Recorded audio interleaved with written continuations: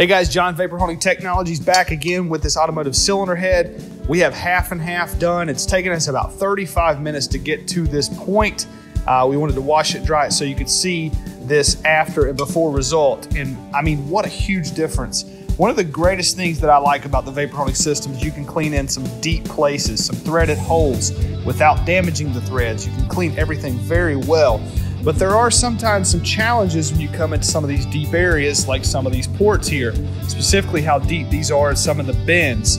Uh, but overall, 95% of the part is meticulously cleaned.